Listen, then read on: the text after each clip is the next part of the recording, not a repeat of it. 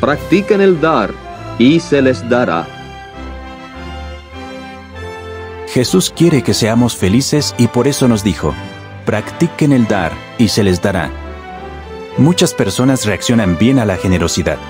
Claro, no todos aceptan lo que les ofrecemos con generosidad, pero la gratitud de quienes sí lo aceptan puede motivarlos a ser generosos ellos mismos e iniciar una reacción en cadena.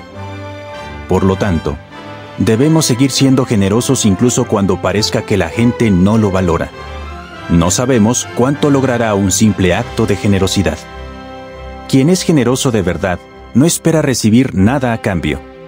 Jesús tenía esto presente al decir, cuando des un banquete, invita a los pobres, a los lisiados, a los cojos, a los ciegos, y serás feliz, porque ellos no tienen con qué pagártelo.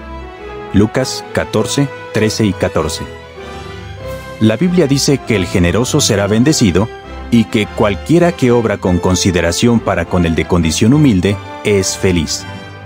En efecto, somos generosos porque ayudar a los demás es un placer.